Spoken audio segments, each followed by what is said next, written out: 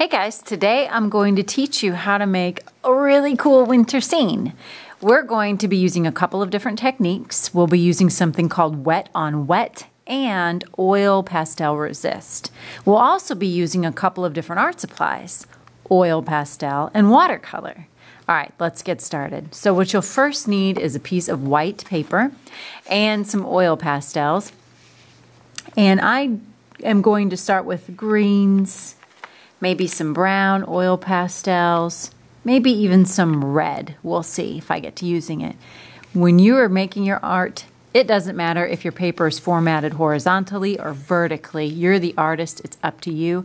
I'm going to do mine horizontally. The first thing I'm going to think about is, before I start drawing, is where I want my tree branch to be. So sometimes I like to imagine that maybe it's coming up this way like my hand. Maybe there's two tree branches coming toward each other. Maybe there's one coming down and hanging low. It's up to you. I think I'll start here. And I'm just drawing kind of like a line that's not straight. And I'm thinking, how might a tree branch look? And line is what I'm using, which means I'm using one of the elements of art. And one thing I have noticed about oil pastels is they break really easily. So if that happens to you, it doesn't matter. You just keep on going. Now you know that tree branches are usually thicker at the bottom. So what I'm going to do here is just make my tree branch a little bit thicker and add some color to fill it in. All right, my next step is to add a little bit of the pine needles to the tree. So now I'm using something called texture texture is showing the way that something feels. So I'm doing short little lines and I'm thinking kind of like what the evergreen trees look like outside of my house. Thinking about the Christmas tree I recently put up because it's an evergreen tree. And you can even use a variety of colors because I think the variety makes things a little bit more interesting.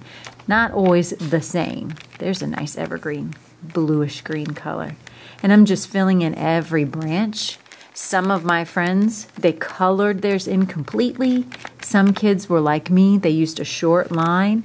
It's up to you. You are the artist. So, so far we've used three elements of art. We've used line, texture, and color.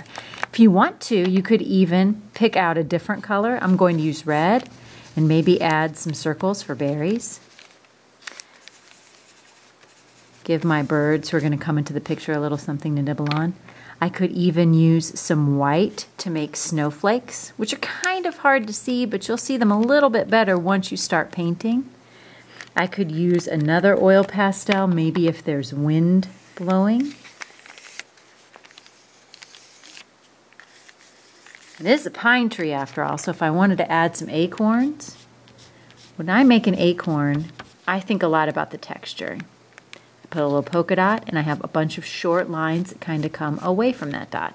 That's how I make acorns. You might see an acorn outside and think of a totally different way that you want to make it. When you feel like your picture is filled in and you're happy with the way that you place things, your composition is what that's called, now we're going to do a little bit of wet on wet. So I've got a nice big paintbrush and I'm just going to paint my entire paper with water, just wetting the whole thing.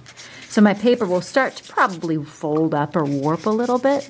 That's okay. That's what it's going to do when it gets wet.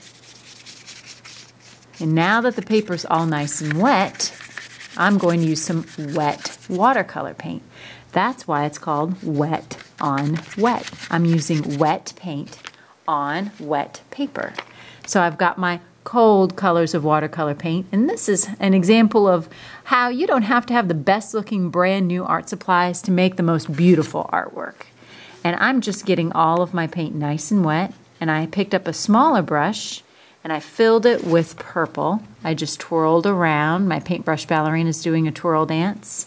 And now gently, I'm just going to tap the back of my brush and I can see that my paint is starting to spread out, which looks really cool, like a little bit of a snowflake. I think I'll get some turquoise because that's my favorite color.